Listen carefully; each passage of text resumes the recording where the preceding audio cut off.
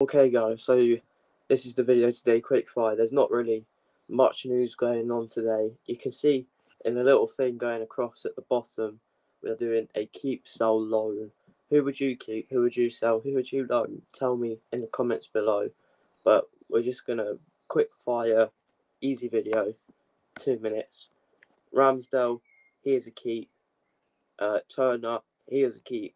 Ben White, keep. Tomiyasu, keep. Saliba, keep. Kiwior, keep.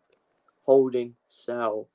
Gabriel, controversial, but sell. Tierney, sell. Zinchenko, keep.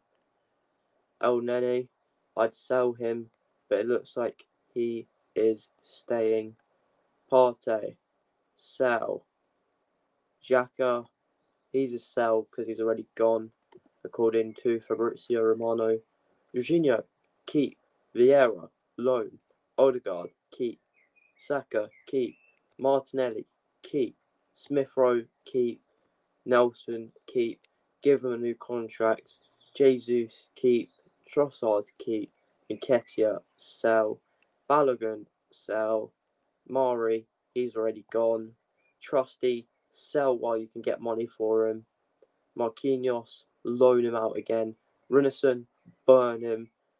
Uh, Cedric, sell. Tavares, sell. Lokonga, sell. Maitland Niles, already gone.